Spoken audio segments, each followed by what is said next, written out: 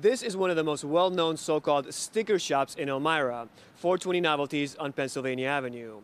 New York State agents raided two locations of 420 Novelties back in September for selling unlicensed cannabis. We didn't go inside today, but the stores do appear to be open. Today, New York State Governor Kathy Hochul announced a new initiative to give local authorities more power to shut down shops like this one and many others. Do I have a padlock here? You can borrow mine. All right, all right. All right, Mayor, let's hold up the padlock there. We got the padlock. The first part of Governor Hochul's five-point plan calls for immediately padlocking businesses after an inspection if they are caught selling illegal cannabis. See, we hit these shops with a fine, hearings, and appeals. They drag on. Guess what? During that process, they stay open and haul in more and more cash and everybody knows it. And right now, these fines are just a small cost of doing business in their minds. But you know it's hard to factor into your business model? Having your front door padlocked for up to a year. What is your first reaction to the announcement made today? Um, I'm glad it's finally here. It's finally happened.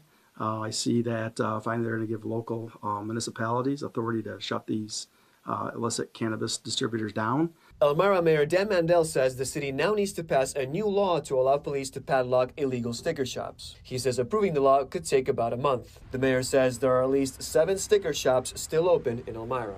First of all, on the revenue side, is that with a legal dispensary, we get 3% of the revenue that the dispensary makes. We don't get that with these illegal dispensaries. Second of all, this is unregulated marijuana.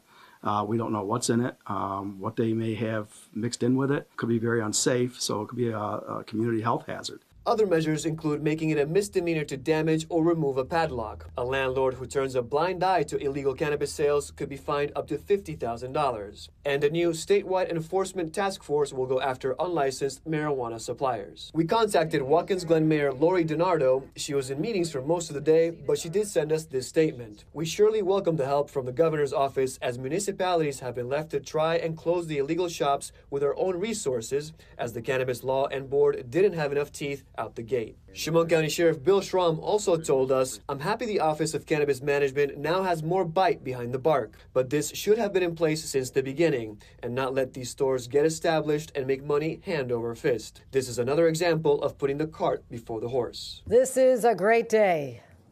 We've waited far too long for this reckoning with all the illegal shops, and your day has come. To read the full five point plan and to watch the unedited interview with Mayor Dan Mandell, we posted it all on our website. That's mytwintiers.com. On Elmira South Side, I'm Nick Dubina, 18 News.